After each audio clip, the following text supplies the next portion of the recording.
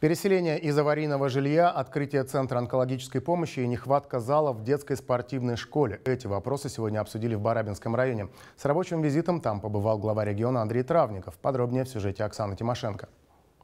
Работница локомотивного депо Евгения Величко живет в аварийном жилье. Переехать в новую квартиру она должна была еще год назад, однако новоселье пришлось отложить. Большая часть квартир в этом доме муниципальная. Муниципальные квартиры могут расселить только в квартиры. Я, как собственник жилья, хотела бы получить компенсацию за квартиру, то есть в денежном эквиваленте. Но мне этого не могут сделать. Муниципальных квартир сейчас нет, дома у нас не строятся, то есть э, расселить, по сути, нас некуда. Меня интересует вопрос, как будет реализовываться расселение из аварийного жилья при условии того, что нет домов, э, соответствующих условиям. Решить проблему Евгении и еще сотен жителей аварийных домов поможет ускоренная федеральная программа по досрочному расселению.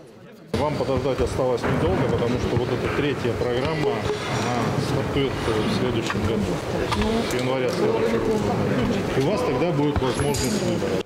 Еще один вопрос, который адресовали главе региона работники локомотивного депо, касался бесплатной газификации, озвученной президентом.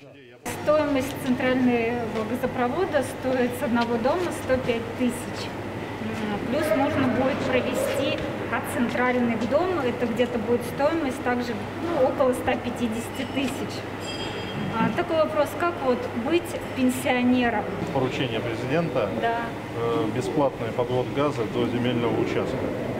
Э, и это действительно так. Э, программа, ну, по сути дела, запущена коллеги в каждом районе, в каждом городе. До 1 сентября, насколько я помню, нужно было подать все сведения, то есть нужно было все вот такие э, проревизировать улицы, дома в тех населенных пунктах, где большой газ есть. Вот эта работа запущена тогда, когда уже ну, некоторые вещи а, были сделаны, ну, как вы рассказали, ваша мама уже деньги несла. Э, понятно, что еще предстоит, э, как решить вот эти вопросы, как вернуть деньги.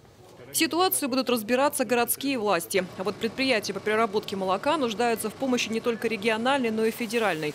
Например, Барабинскому молочному заводу ежемесячно требуется около 45 тысяч килограммов сырого молока, возить которое приходится за сотни километров.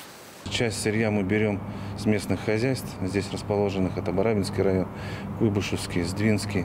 Ну и сейчас как бы уже возим сырье сдалека, ввиду того, что качество продукции требует высшего сырья, мы возим сейчас с Маслянинского района сырье. Предприятие выпускает молоко и кисломолочную продукцию, которая востребована не только на местных рынках, но и в торговых сетях областного центра. И вопрос с качественным сырьем в условиях большой конкуренции здесь стоит особенно остро.